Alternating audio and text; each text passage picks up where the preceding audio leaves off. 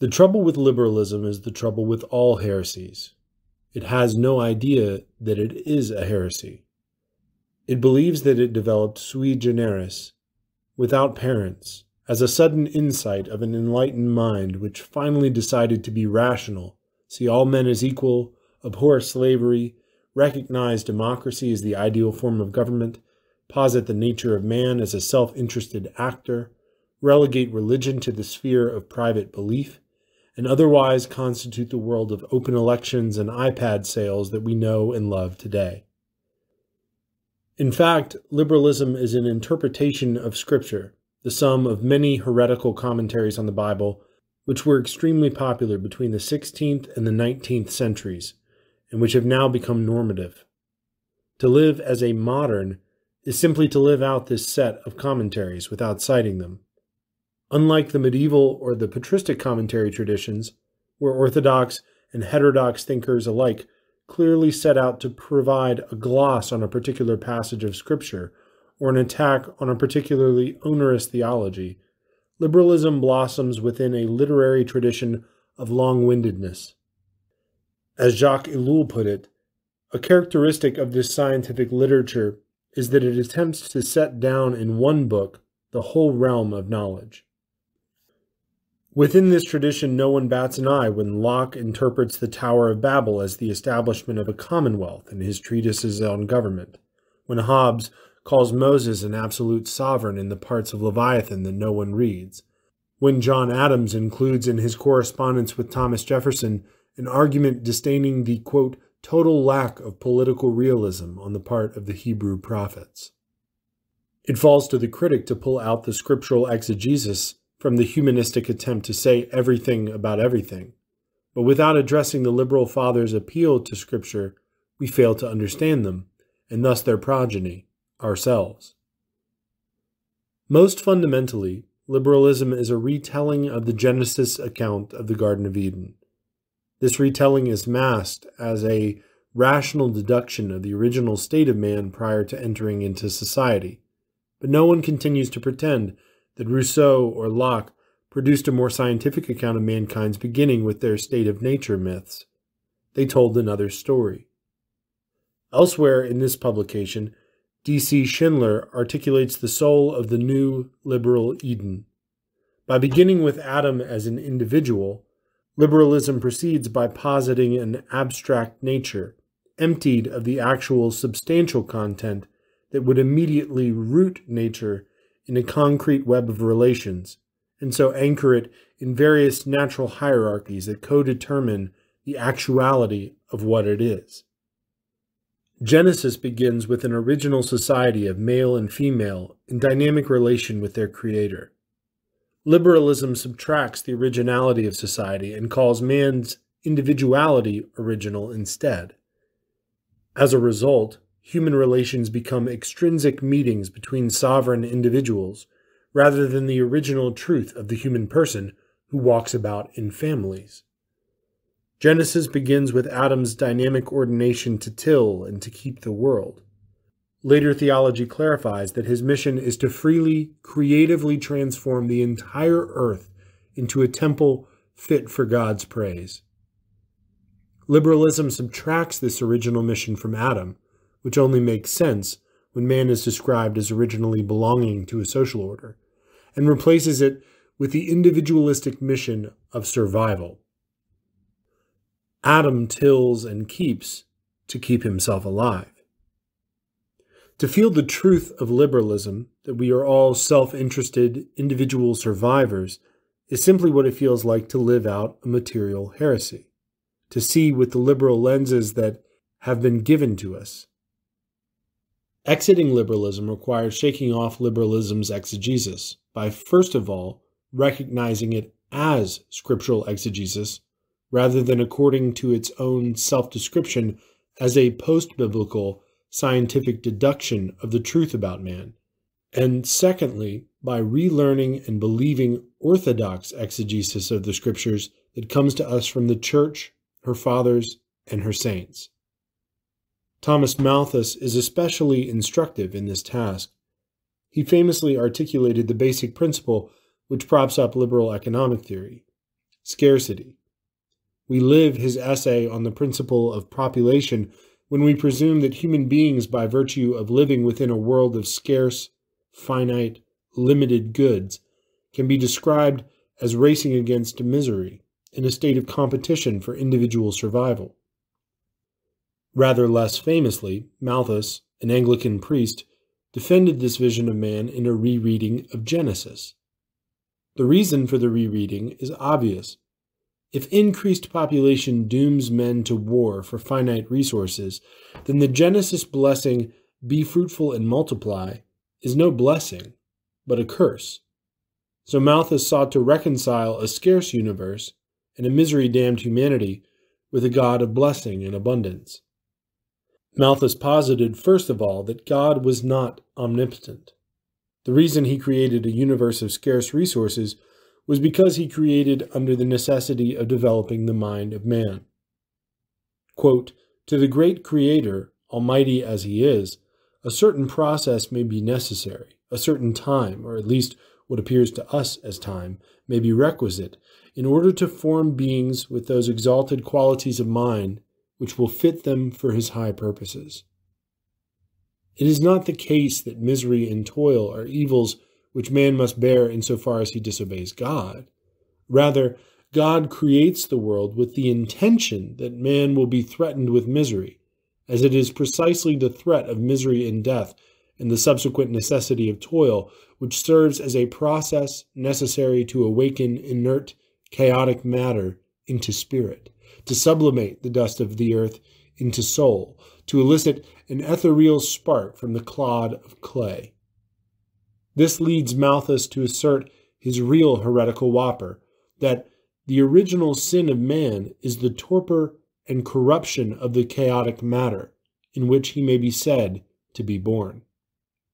Let us be clear of the reasoning that now forms the substratum of our own. Matter is evil, mind is good. To get mind out of matter, it was necessary that God make a scarce universe rather than a universe of abundant provision, because, quote, the first great awakeners of the mind seem to be the wants of the body. Toil, instead of a punishment, becomes the means of man's salvation from his original and sinful state of being mixed up with torpid matter. This description is, quote, fundamental because Malthus applies it not to man as a sinner, but for man as he is created by God. Malthus' heresies are expansive. He indulges in Manichaeism, with its assertion that matter is evil, dualism, in which evil is described as a necessary principle of creation, Pelagianism, with its optimistic belief that man, through toil, can attain his salvation, Gnosticism, by which the development of mind is posited as the true end of Christianity, and a few more, I don't doubt. Malthus' wiser friends encouraged him that his position was untenable, and he stripped his theological groundwork from all subsequent editions of the Essay on Population. This serves as a kind of metaphor for liberalism as a whole, in which a theological first edition is stricken from subsequent texts which entire generations believe and carry in their backpacks, blithely unaware that the whole show once involved an immensely dubious reading of Scripture. When I say that Malthusian economics has been digested into the gut of every contemporary man, I do not mean that we have read Malthus, nor that, if we were to read him, we would agree with his dire predictions of overpopulation. I mean that we have absorbed his fundamental description of Adam the original man, as a being who works because he is compelled by fear for his own survival. Malthus makes the threat of misery essential to the very existence of the human being, and thus describes all of man's possible actions as strife against the threat of a lack. This is a fundamental theme of classical liberalism, obvious in thinkers like Hobbes and Darwin, but equally present in the good guys, as in the theology of John Locke. As noted, Locke argued that Adam toiled in the Garden of Eden. Quote, when God gave the world in common to all mankind, he commanded man to work, and man needed to work in order to survive. Working for his survival, man creates property, which Locke describes as belonging to the order of competition between men. Quote, a man who, in obedience to this command of God, subdued, tilled, and sowed any part of the earth's surface, thereby joined to that land something that was his property, something that no one else had any title to or could rightfully take from him. In our own lives, the liberal account of Adam's work in the garden plays out in our inability to rest, to enjoy things for their own sake, to do anything that doesn't give us money or property, to appreciate art, to imagine a society that does not operate on the principle of competition or a world that is not scarce but abundant. But it is most apparent in our worship of technology. As Joseph Ratzinger puts it, technology originally arose as the means for assuring man's security. In this respect, technology is a great good a tremendous capacity of the human beings to see the world as parts and resources that can be ordered into systems and devices that solve problems, cure diseases, and otherwise fill needs. In another respect, technology is the offspring of famine, war, and death, a shield flung up against the fiery sword that cast mankind out of paradise, a desperate ordering of nature's goods into the effort of staving off death, and dearth. Our oscillating opinions about technology, praising it as our future and fearing it as our apocalypse, are grounded in this fact. Behind every technological device is an imperfection that it purports to heal. If Malthus, Locke, and all the rest are correct that man is created in and through his confrontation with lack, then man's natural gaze must be technological. The book of Genesis takes an opposite view. It actively rejects the description of the world as scarce, and it castigates the technological gaze. Genesis describes Adam as the one who perfects other created beings. The plants are not made except insofar as Adam exists to till them. Quote, no plant of the field was yet in the earth, and no herb of the field had yet sprung up, for the Lord God had not caused it to rain upon the earth, and there was no man to till the ground. Likewise, as St. Ephrem the Syrian says, the animals came to Adam as a loving shepherd. The keeping of Adam, which the fathers took in the allegorical sense of keeping the commandment, probably referred in the literal sense to shepherding, as in Genesis 30, verse 31, and 1 Samuel 17, verse 20. And just as his presence perfects the plants of the field, his shepherding perfects and finishes the animals. Quote, Whatever the man called every living creature, that was its name. Thomas Aquinas argues concerning Adam that, quote, God created things not only for their own existence, but also that they might be the principles of other things.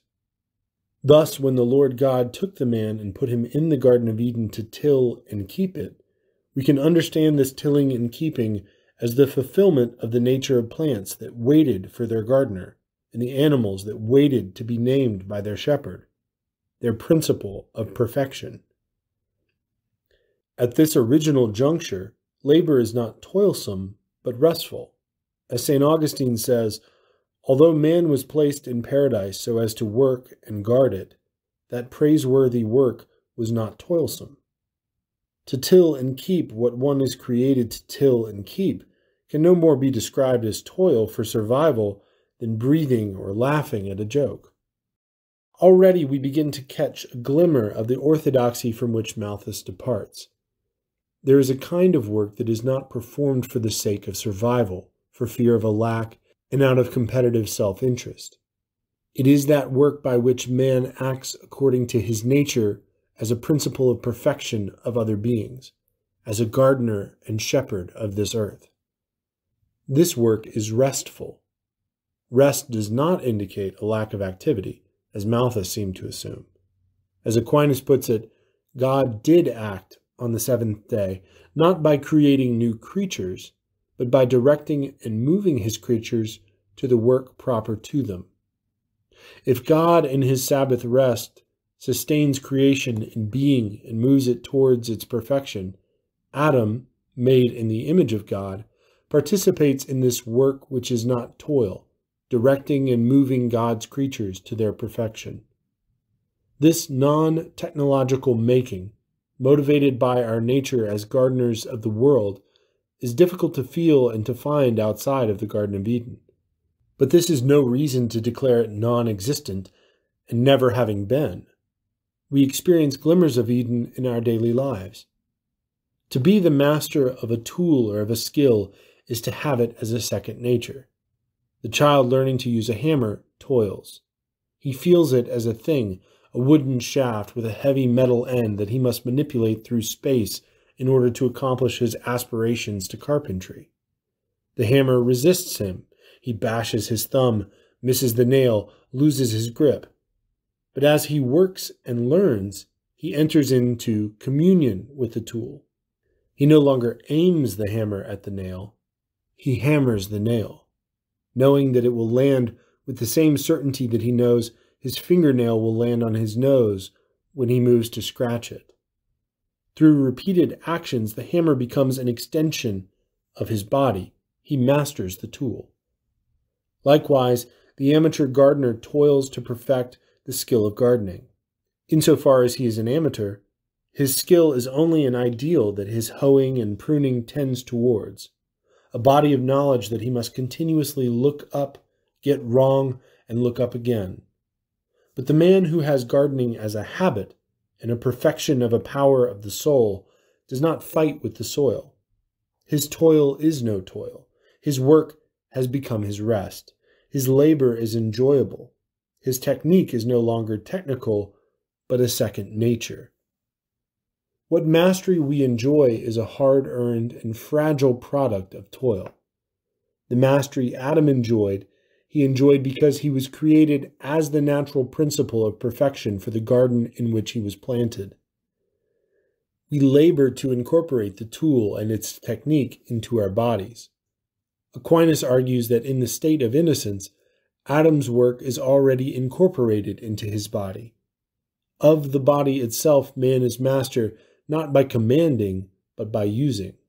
Likewise, in the state of innocence, man's mastership over plants and inanimate things consisted not in commanding or in changing them, but in making use of them without hindrance. But mastery alone is insufficient to assure that work is restful.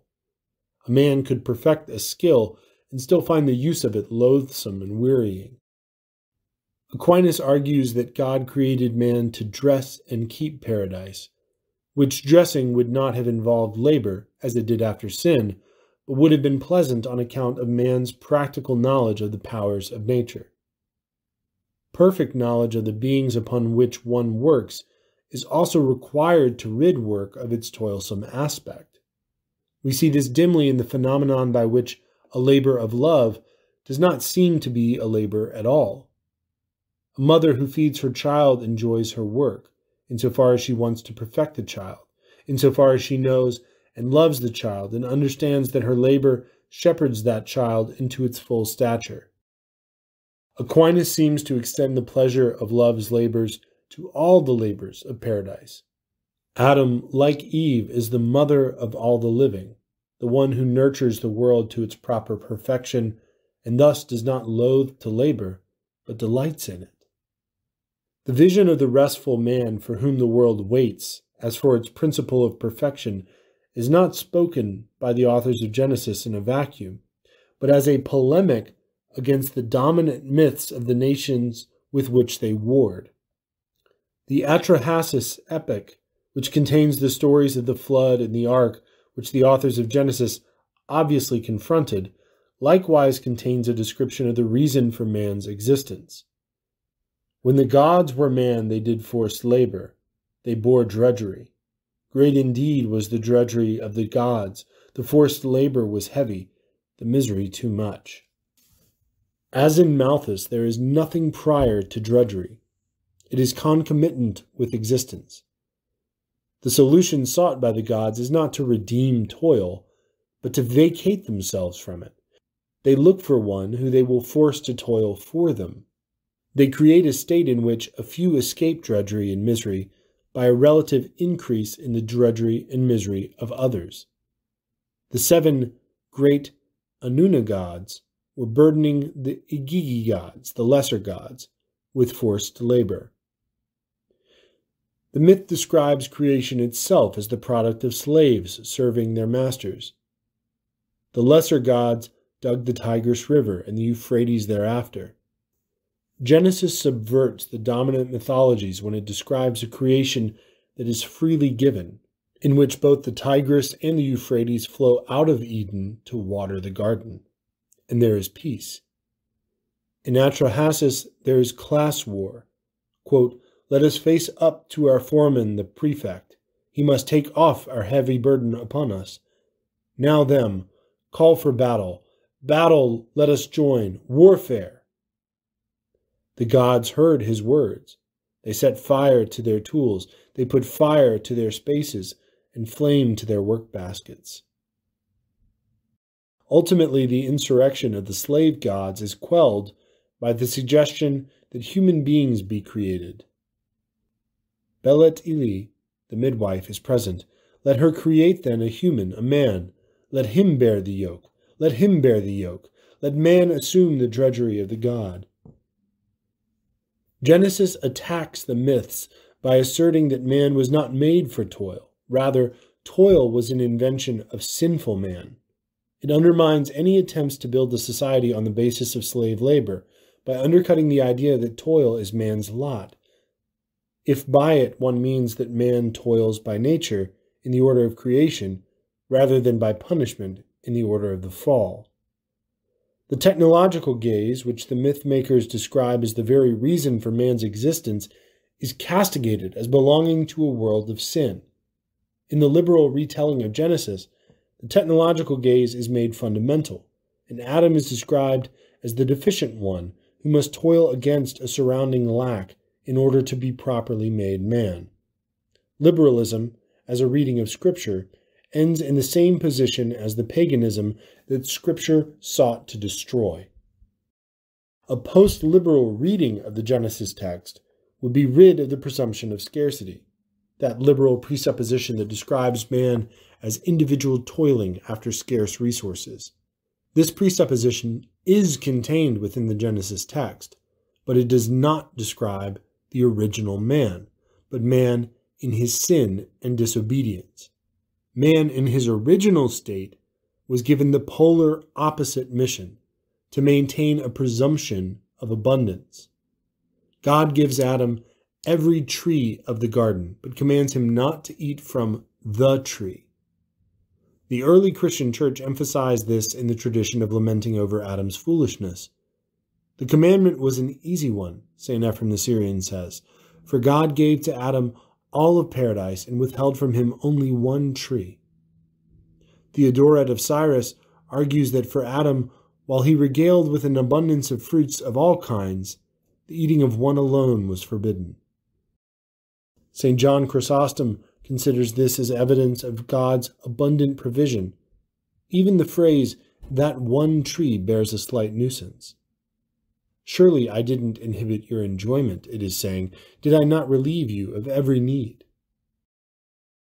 For these church fathers, the commandment forbidding one tree was a trial not of Adam's ability to blindly obey an arbitrary will, but of his ability to trust that God provides. Adam was tried in his capacity to retain a presumption of abundance, to rest in the many instead of fretting over the meager to rejoice in the gifts of God rather than tremble for fear in the dark light of some perceived lack. This helps explain the demythologizing trend in the early church concerning the fruit of the tree. The fathers deliberately downplayed the impulse to think of the fruit as something that could fulfill a desperate lack in Adam and Eve's hearts. The forbidden fruit was nothing special. It wasn't because the tree of knowledge supplied knowledge, it is called that, says Chrysostom but because the transgression of the command happened to concern the tree, and from that event knowledge of sin entered the scene. It is the lying serpent, not God, who presents the tree and its fruit as containing special powers which Eve needs to obtain. God merely says, In the day you eat of it, you will die. The serpent argues that When you eat of it, your eyes will be opened and you will be like God. The snake presents for the first time the idea of a lack sucking away at the human condition, a lack of sight and of divinity. Says St. Ambrose, What other cause of enmity is there except envy? As Solomon says, By the envy of the devil, death came into this world. But as Aquinas notes, man can only replicate the devil's envy by viewing human nature as lacking in relation to the divine nature. The newness of the serpent bitten gaze is signified by a textual addition. Only two things are predicated of the trees of the garden God made to grow every tree that is pleasant to the sight and good for food. When Eve reaches out to take the fruit, she does so because the tree was good for food, and that it was a delight to the eyes. Thus far, she is drawn by the good of the tree, as it is given by God. But the Genesis account adds that Eve also saw that the tree was to be desired to make one wise. This quality was not given through God's creation of the tree. It comes from the presumption of lack, of man's being not wise. This, therefore, says St. Ambrose in the voice of the serpent, is my first approach, namely to deceive him while he is desirous of improving his condition. The disobedience of Adam and Eve does not, by itself, summarize their failure of the great trial. Rather, their disobedience is predicated on a first failure. They looked upon themselves as the proper objects of self help. They presumed themselves scarce. Then the eyes of both were opened, and they knew that they were naked. Adam and Eve view themselves as lacking over and against the commandment from God to rest in the abundance of His grace. The result is that they appear to be naked. The relation of nakedness to sexual shame has been well drawn out, but throughout the Hebrew scripture, being naked refers as often to want and scarcity as it does to sexual shame. Augustine argues that man saw his nakedness and was displeasing to himself because he did not have anything of his own. Chrysostom describes the fall, saying, Adam and Eve were reduced to the utmost indigence after the great abundance of their wealth. The scarcity which Eve posits in regards to her wisdom and divine status spreads out until it garbs and smothers her whole body. The fear of our first parents was a self fulfilling prophecy. They knew that they were naked because they acted as if they were naked. For Hobbes, the shame Adam and Eve feel over their naked bodies is a critique of God's absolute power to create them as he willed. Quote, the meaning is plain that it was then they first judged their nakedness, wherein it was God's will to create them, to be uncomely, and by being ashamed did tacitly censure God himself. But if we could unsmear the grease of liberalism from our glasses long enough to gaze on Adam and Eve as they flutter and fret about for fig leaves, if we could see them as the first beings to presume of scarcity in the face of God given abundance, we would not simply see rebels against an absolutist deity, but the inventors of technology. This is difficult to describe, as we are accustomed to thinking of technology as the sum total of technological devices. But as Heidegger describes it, technology is the mode of being which allows us to produce technological devices, a gaze which sees the world as orderable to the fulfillment of our needs. In his language, we quote, set upon the real in order to reveal it as standing reserve, wherein everything is ordered to stand by, to be immediately at hand. Forests become reserves of wood, rivers become energy resources, and human beings become human capital. All of it ordered to the fulfillment of need, the staving off of scarcity, the reduction of lack. In order to think technologically, it is necessary to view man as lacking. After the fall, this hardly requires an effort. Sinful man is lacking, and so creation appears to us as eminently orderable to the fulfillment of his lack, the cure of his disease, the remedy for his innumerable inadequacies. But before the fall, when man did not actually lack anything, this newfound technological gaze was absurd, poisonous, destroying the Edenic gaze. In the Edenic gaze, man tills and keeps creation because he is its shepherd, ordained to foster the garden of the world into perfection. In the technological gaze, man toils because his penury forces him to, as we have heard Locke say. He cares not one whit for the perfection of the natures of the creatures that he orders into his technological systems. He cares about his survival, his benefit. When Adam and Eve viewed themselves as lacking, they fulfilled the necessary condition for viewing themselves and all of creation technologically. They viewed creation as ordered towards the fulfillment of their lack. When God condemns Adam to toil, it is not a divine hand slap, extrinsic to Adam's presumption of scarcity beneath the tree of knowledge. Toil flows from the technological gaze as blood flows from a wound. Edenic tilling and keeping is restful because it views man and creation as ordained to each other's mutual perfection.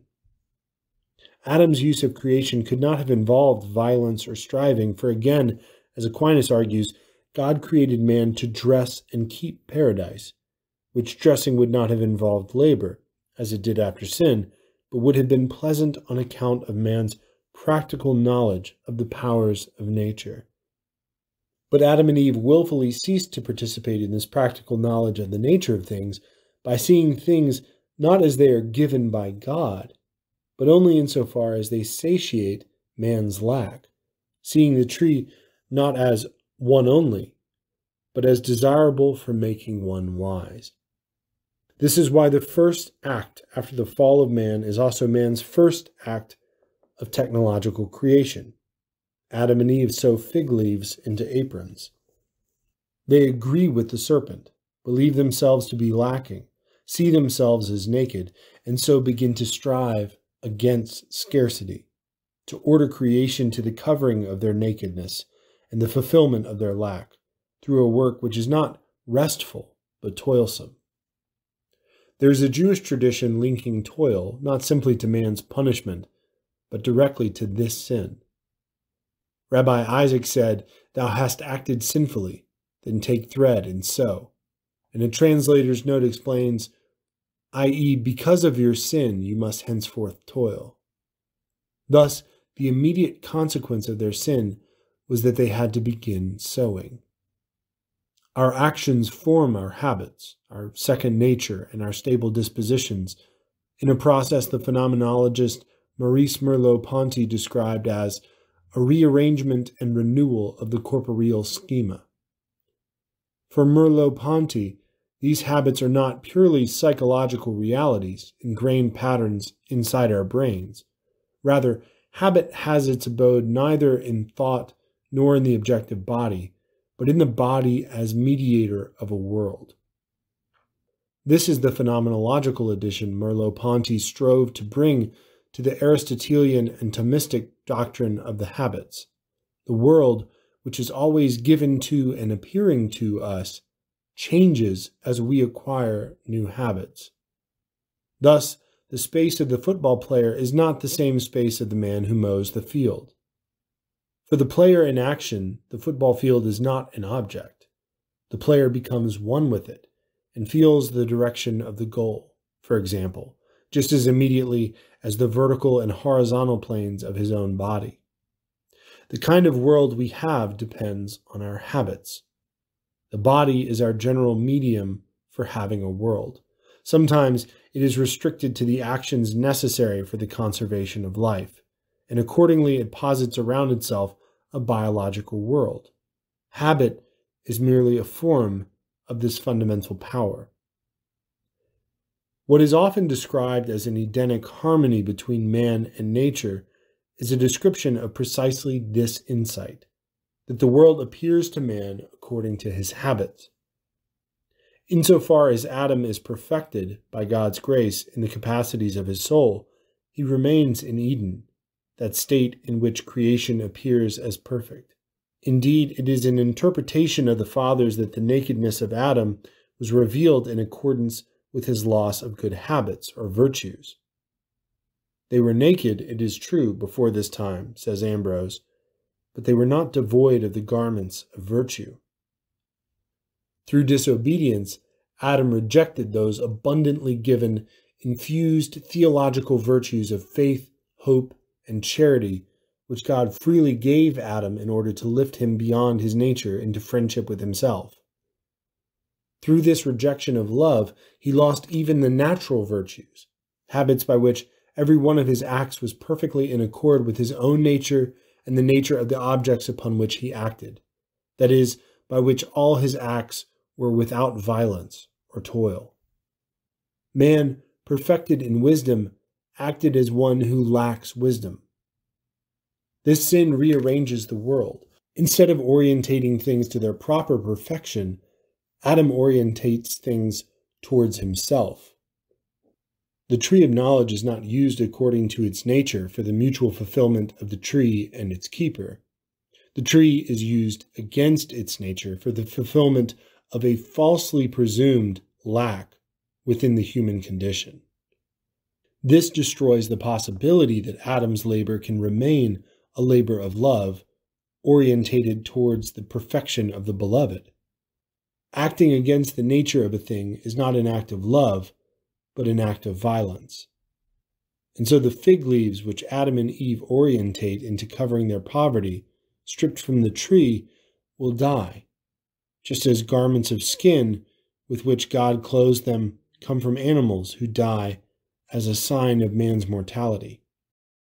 God and all of creation regard Adam warily as the anti shepherd who violently puts forth his hand and takes to cover his own nakedness, a violent man against whom there is no remedy but restraint, coercion, a flaming sword which turned every way to guard the way to the tree of life.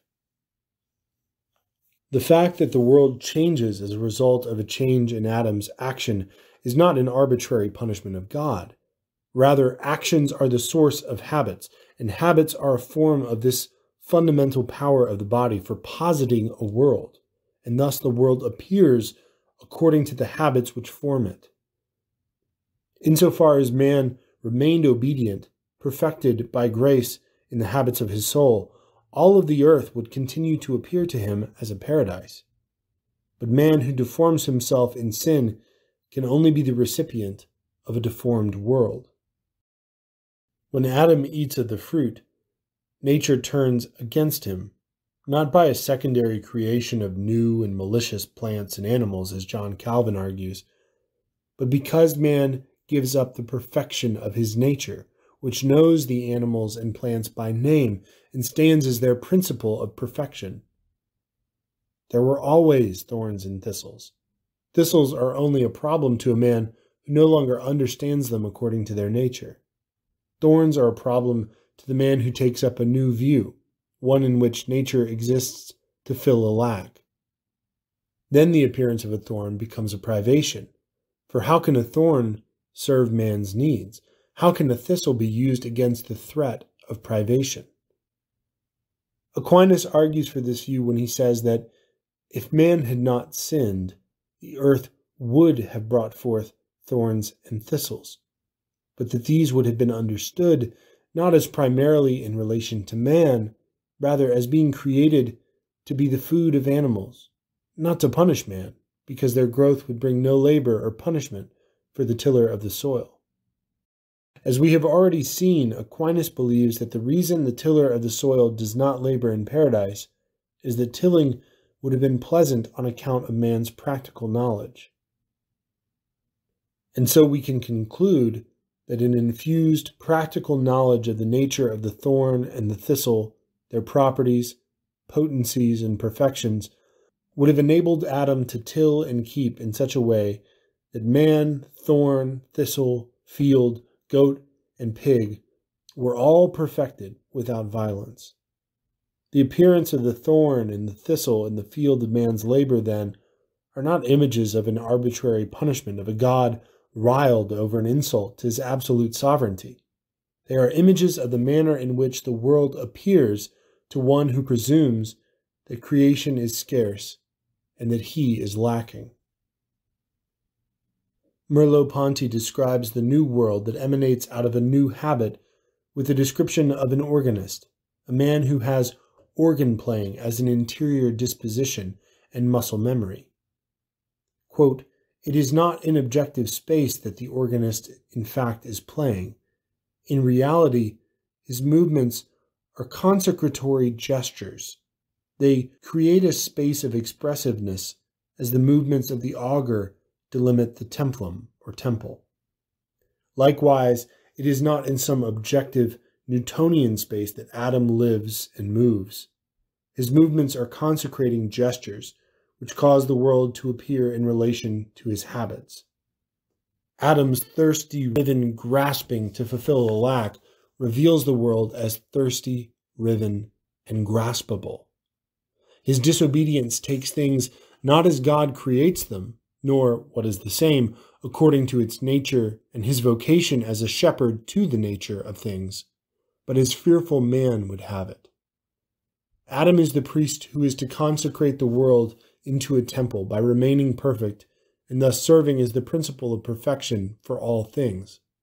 By this same token, he is the one who may, by his nature as free, embodied intelligence, break the world and take up a gaze which sees the temple and the garden as a field ordered to man, a field in which thorns and thistles can only appear as adversaries, as they no longer fit into the space of Adam, who posits about himself a world ordered toward survival, competition, and the fulfillment of lack. In many ways, the heresy of liberalism is a tiny one, mistaken by a matter of minutes. It takes as a part of the order of creation what is, in fact, of the order of the fall, arguing that man strove against scarcity in the state of nature. This crowns the presumption of scarcity not as a temptation of the fallen world, but as the goal of every Christian who longs for the redemption of the world in Christ. This crowns technology not as a response to man's fallenness, which will pass away in the redemption, but as man's very reason for being. While it is beyond the goal of this essay to show how this theology of scarcity justified and girded the Western expansion of the technocratic state, it does not take a particularly incisive intelligence to connect the dots. Suffice to say that the degree to which we believe and live out the liberal thesis that Adam is a rational, self interested actor competing for happiness and survival in a world of scarce goods is the degree to which the world will really appear in this manner, as it appeared to Adam and Eve that dark day under the tree.